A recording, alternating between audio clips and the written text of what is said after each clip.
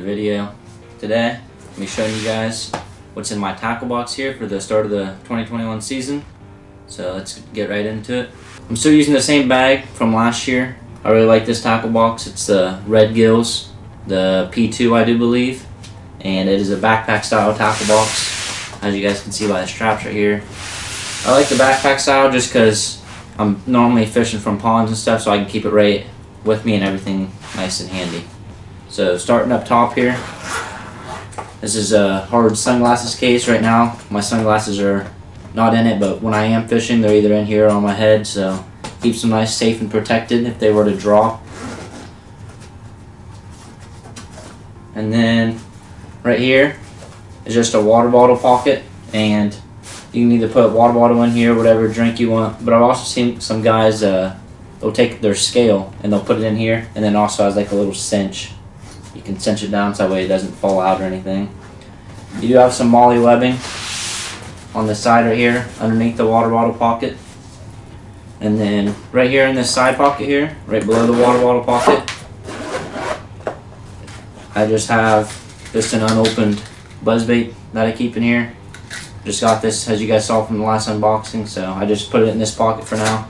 But also in this pocket normally I'll keep my uh, chesty for my GoPro, maybe a few extra batteries and whatnot, so that's what this pocket is mainly used for. And then flipping to the other side here, you have this, I don't know if you guys can see it, you have this little like net, rubberized net here. And what I'll do here is I'll throw like anything that's been in the water, so it can air dry and it doesn't rust before I put it away, that's why I'll throw in this. And then right in here, behind the net, there's actually a pocket. And then in here, I'll keep my wacky rigging tool. Which if you guys haven't seen this, you put your worm in this tool and then it has these little rubber bands on it that you would just slide onto the worm. You actually put your hook through the rubber band instead of actually on the worm so that way your worm will last a lot longer. And you can just, these things are really cheap. I think you can pick them up from, you know, Bass Pro Shops for like five bucks. Not very expensive. And then also in this pocket I have some tackle tray dividers, which are always nice to have with you in case you know one breaks or you need to divide some tackle. On this side, there's a flyer spot right here. I'll just keep some flyers handy, you know, for them treble hooks.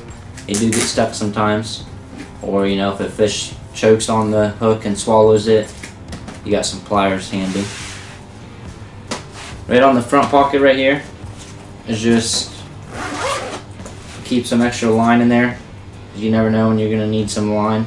You might need to tie on a leader or something. And then I also keep an extra GoPro charger in here. Which normally I do bring a power bank too in case, you know, if I'm fishing for long days. Uh, we got an extra pack of hooks in here. There's some 4-aught Texas rigging hooks. And this is a pack of worms that actually came with the bag.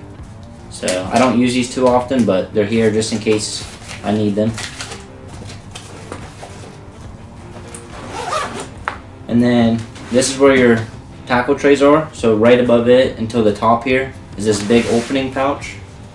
And up here is where I keep mostly all my soft plastics. And so we got some 3.3 inch green pumpkin pearl saucy swimmers.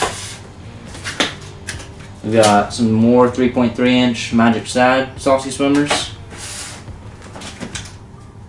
some 3.3 inch Blue Red saucy swimmers. I like the 3.3 inch ones for trailers on like um, some of your smaller baits.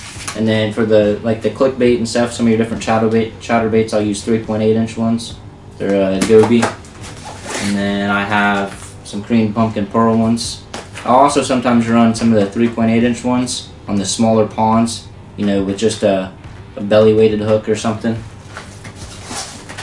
And then we got some 3.8 inch white pearl shad. The white's always nice to have for a trailer color. And then we got some 3.8 inch Blue red.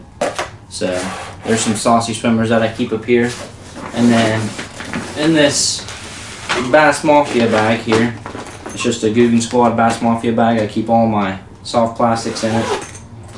And then I'll show you guys what I got. So here we got some green pumpkin trench hogs. I like the trench hog. They're nice. They got a lot of movement to them. I do want to try out their new baby trench hog, so I'll probably have to order some of them and give them a shot. We got some green pumpkin Kraken crawls. We got some green pumpkin slim shakes. Let's see, we got some baby bass lunker logs. One of my favorite worms, the Mondo worm, the green pumpkin. This is the 10 inch version. They also have a 7 inch version. If I have to get some a hold of some of those, but these Mondo worms are crazy come summertime warm water. Another nice bait right here, the Bandito, the Bama bug color. This is probably my favorite color. Uh, I got it in one of the Googan Squad boxes in a challenge video that you guys probably saw a while back. And I just fell in love with it since. I really like this color. It works out really nice for me around here. Got some Okeechobee Call Bandito bugs.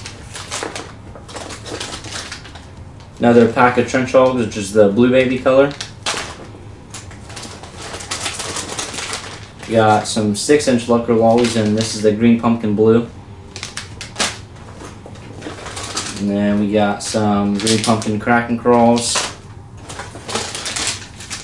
We got some green pumpkin six inch Lunker logs. Lunker logs are a very nice stick bait. You can do whatever really with them. They're very versatile. Some black and blue Kraken crawls some plum mondo worms. These are nice for your darker waters. Anything you know with that darker shadow is works really well in your darker, dirtier waters. And then we got some green pumpkin lunker logs, five inch version. Uh, we got these new things to try out.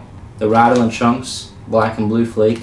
They have little rattles in them, which is gonna be a very nice trailer for some your jigs and stuff. And then we got some watermelon red Kraken crawls. Got some natural bandito bugs here. We got some black and blue Kraken crawls. And then we have the brand new Explode Googan Squad Toads. And these are in the summer crawl color. So excited to give these a shot this year also. But that's mostly that's mostly all the soft plastics that I have in this bag. Sometimes I'll take some out, switch them out, you know, depending on what I'm fishing. Normally I kind of bring a little bit of everything just because I'm not sure what the pond's going to look like that day or whatnot. So that's why I have so many soft plastics. I like to fish a lot of soft plastics. So now we'll dive into this pocket here. It does hold three 3700 series trays. And in here. In this box, I keep some of my frogs and some of my, you know, jigs and whatnot. But we just got some different, you know, top water pump popping frogs. These are Lunker Hunt brand. I do like these ones a lot. And then we got some different jigs. We got a little juice jig here in the Okeechobee crawl color. And then you guys saw me unbox a bunch of these in my last video. These were some of the grass hero swim jigs from Googan Squad. We got a couple different colors in them. So that's what I normally keep in this box. Not too much. This box is pretty simple. And these are the lure lock boxes. So inside them they have the sticky stuff so that way none of your stuff shake it around. It's not nothing's gonna fall out, tip over, it all stays nice locked in place. And then we got one more of those lure lock boxes. And this one has more of my hard baits in it. We got some some clutches up here, and then we got some, you know, recons, which is just their Googan Squad's crankbait. We got a scout. Another. This is a junior scout, so this one's a little bit smaller, which is nice for those pawns. And we got some square bills, and then we have some of the Googan Squad click baits, which is their uh, chatterbait. Got some new stuff for this year to try, out, and I'm pretty excited for it. And then one of the coolest tackle boxes is this Bass Mafia terminal coffin.